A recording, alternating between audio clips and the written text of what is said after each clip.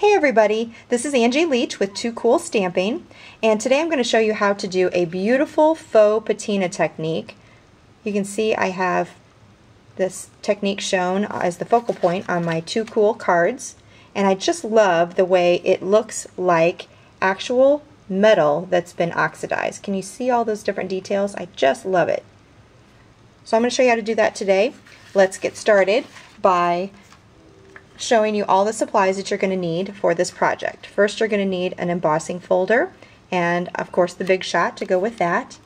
Next you're going to need four different colors of inks and first you want to have a neutral light color then you'll want to have two medium colors and if you're looking for the traditional aqua color of patina for your um, technique, then you'll want to make sure you have some sort of blue and a green because that will mix together to make that color.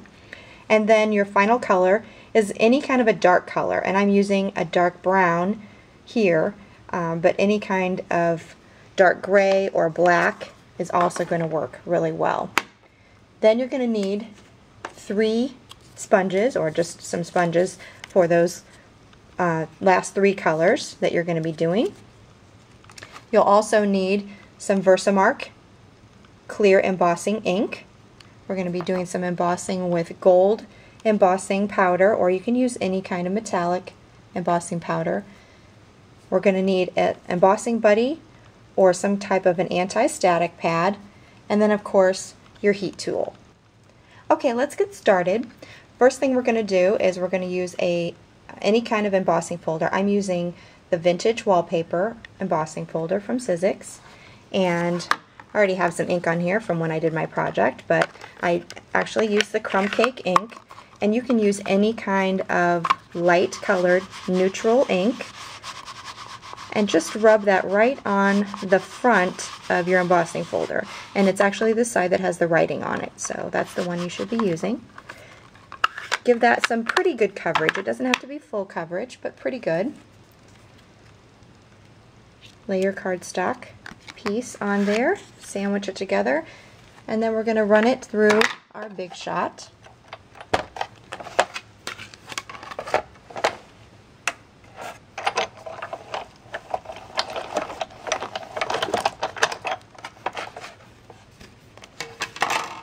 Okay, and then when we open it up, we actually see a piece that it kind of looks like ceramic bisque to me. I really like it just how it is. It's kind of fun just how it is. But we're going to make it even more beautiful. Next we're going to take the Marina Mist and you can use any kind of a medium color ink. If you want the traditional patina look, you want to try to stick with a blue and a green. And I'm just going to start sponging over the top of the raised portions. And you can just kind of do this randomly. You don't have to do really dark coverage over the whole thing. But I like to focus on the raised areas. Those are the ones that you really want the texture to pop. So there is the first layer. Next we're going to use the second color, which I'm going to use Always Artichoke. You just kind of want it to be a progressively darker color. So if you want to use another version of green or really any combination. And as I start to sponge that over the top, you can see right away that the colors are layering and they're kind of turning into more of a teal or aqua type of a color, blue and green mixing together. So they layer really, really nicely. So there's my green. Next I'm going to use, for the final layer, the Early Espresso Dark Brown. And again, you can use any color that you want. You just want to make sure that this final layer is the darkest color because this is really going to be what brings out the richness of all of your raised areas. It's also kind of antiquing in between the raised areas, but it really brings out the richness of the color and the depth of the texture. And that's what really makes this technique look fabulous. So you can see how all of the colors are really rich. The raised portions are really accentuated there. Love that look. It's just really fantastic. So this is really cool how it is, but we're going to make it more like patina by putting some metal effects on onto it. Now with all the colors and layers of ink that you have, you have a lot of moisture in that cardstock. So what we want to do is dry it up just a little bit. You, you can either just let it dry or use an embossing buddy or an anti-stack pad, anti-static pad and I'm actually tapping on it first because I don't want that ink to get all over my embossing buddy. And that should dry up a lot of the moisture. Okay, so that's covered. Now we're going to use Versamark clear embossing ink. And for this you just want to kind of apply it by the raised areas, but just randomly because with the patina you just want a little bit of the metal to be kind of peeking through.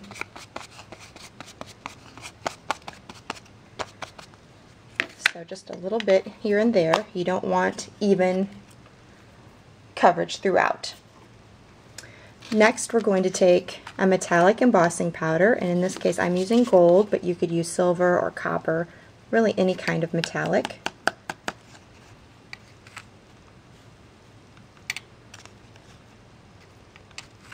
And just sprinkle that over your whole piece.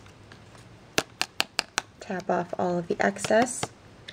Now, I don't know how well you can see it, but I do have kind of too much for my taste. You can have as much as you want to. But say I have too much here, that's no problem. You can just brush off some with your finger or with a brush. Or if you need a little bit more, you can always add more later after we get this embossed the first time. Then we're going to use our heat tool to melt the embossing powder. And this is when the magic really happens. This is when it really starts to look like patina because you have your metal starting to show through.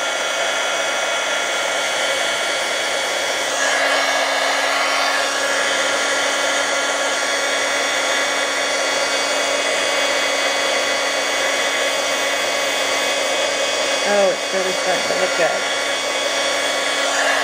A little bit more here in the corner. Okay.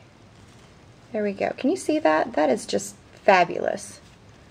I love how you can really tell right here. I got a lot of metal showing through. I have some over here that's peeking out. But it's just all kind of random, which is how things antique. So anyway, that's the technique. It is so fabulous to do. I know you're going to love it. And the best part about it is you can really make it your own by creating a lot of different color combinations. And so, so really practice with, you know, experiment with different ones. This one is kind of more of a rust color combination. Then I did a little bit of rose colors in that one. This one I added a little bit of rich razzleberry to it. This one has some Concord Crush, more of a purpley effect. This one I focused a lot more on the blues. I think I had some not quite navy in there. And then the final one I did more like a light green, so it's just a little bit lighter version of what I had already done. So as you can see, there's lots of different colors that you can do. There are lots of different varieties endless possibilities, experiment with it, and I can't wait to see your projects on, in the gallery. So thank you so much for spending a little time with me, and have fun with your faux patina projects.